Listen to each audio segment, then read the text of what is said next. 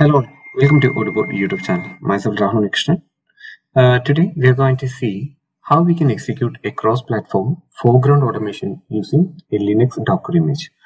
So in uh, in our previous uh, videos, I showed you how you can uh, uh, run Robot Linux uh, Docker image like a Docker container, even in Kubernetes as well. And we have seen how we can deploy Robot Linux containers to Kubernetes using CI/CD as well, right?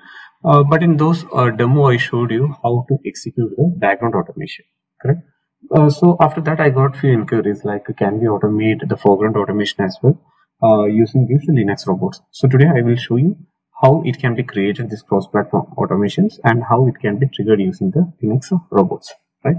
So I already opened uh, uh, this command prompt. So let me search for docker uh, hyphen version okay so already docker is there and uh, let me do one thing. Let me start the docker desktop as well. Okay so let it start. And uh, meanwhile i have opened uh, the cloud as well as uh, the gitlab. And what is first step? We have to first create a uh, docker uh, host right for running our images. So let me go here. Let me go to orchestrator okay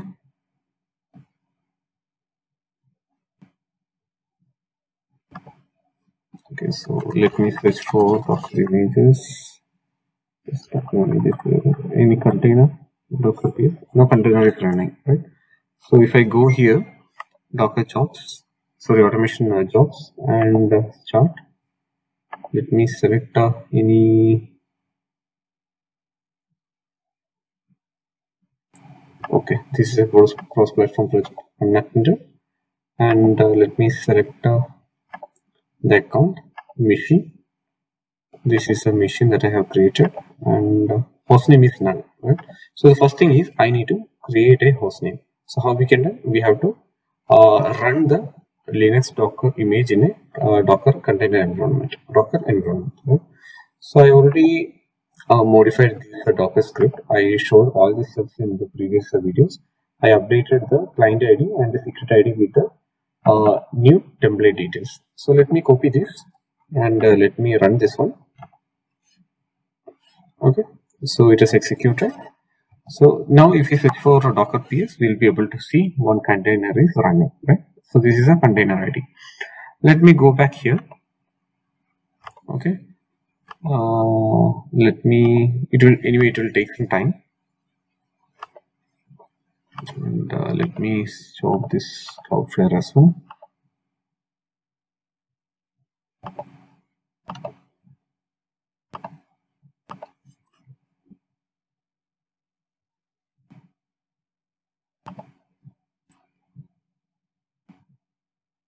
Okay unattended account i'm going to choose like a kubernetes robo and uh, this is the machine. Not connected server.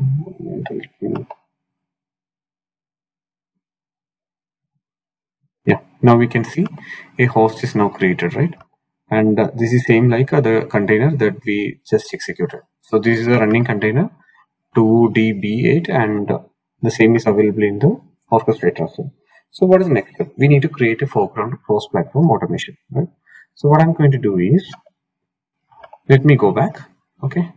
Let me go to uh, this window and here i'm going to choose studio web okay? I will show you how you can create a cross platform automation okay? So for this automation i'm going to use rpa challenge as application and uh, let me show you the um, a feature of autopilot as well in uh, UiPath that help you to automatically create your automation based on the prompt that you're going to give.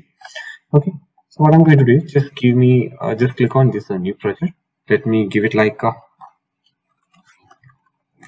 cross demo project. Okay, click on create. Okay, now click on plus button. I'm going to use a browser Okay, so this is a uh, UI based automation, right? I need to enter all the details in the RPA challenge uh, application. So what is first step? I need to indicate the RPA challenge window.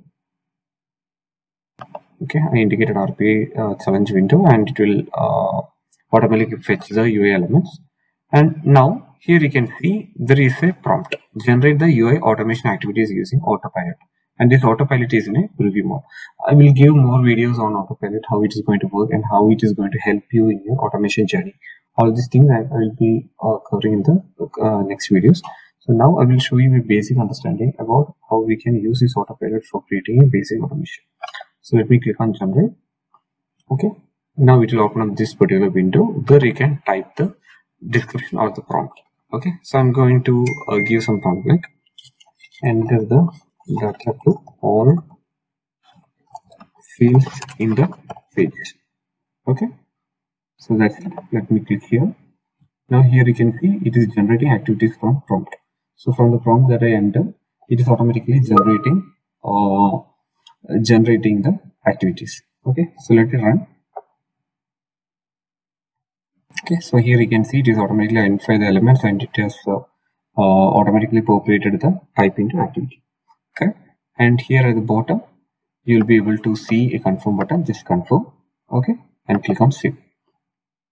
If you do that, all the activity that got captured will be coming here in our automation and uh, as you all know like this uh, studio web automation is a cross-platform automation right well, if you want to link this to your Apex desktop studio you can directly link it or if you directly want to uh, make some action in the studio web and if you want to publish to orchestrator that is also possible. So before doing the publishing let me run this and show you how it is going to work. Okay so this is already opened.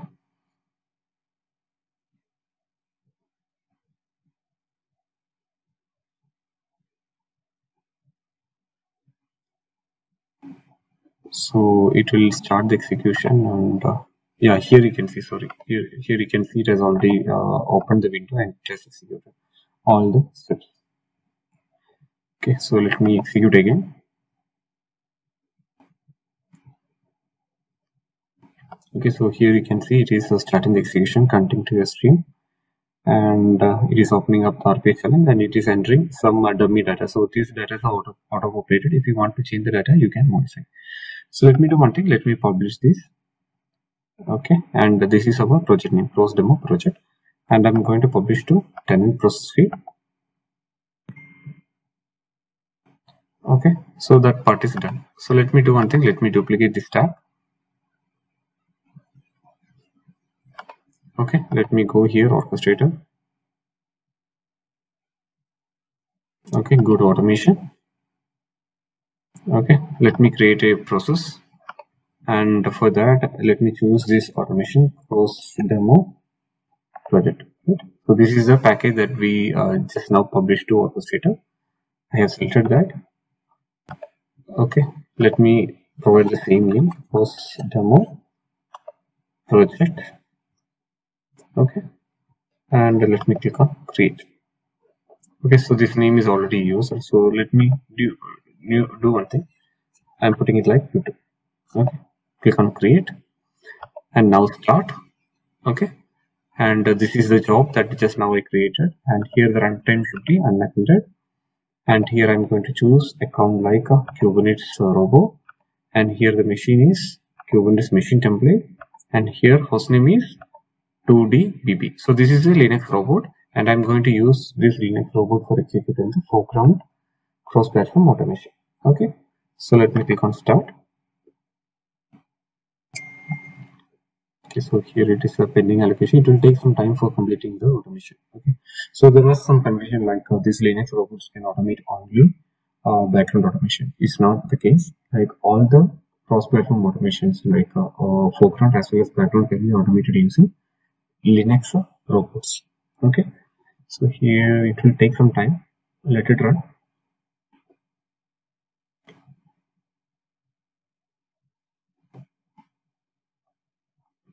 Okay, so uh, as I mentioned earlier, like it's very easy to deploy this Linux robots as a Docker container, and uh, you can easily assign the uh, jobs to the particular uh, Docker images that is running, right? So here you can see it is successful. And if you want to see this uh, execution, what you have to do, uh, as I mentioned earlier, you, you should install the VNC player, then only you'll be able to see the execution. Okay, So that's how it is going to work. Uh, you can easily uh, deploy the Linux robot uh, as well, and you can easily uh, create cross-platform automations using the autopilot feature as well. And you can easily create the job and uh, use the uh, newly created hostname or the Linux robots for executing these jobs. Right. So it's very easy. If there is any confusion regarding like robots, Linux images can only execute foreground or background. It's not the case. It can execute both uh, foreground as well as background. But there are some restriction. It helps only for executing cross-platform projects. Okay.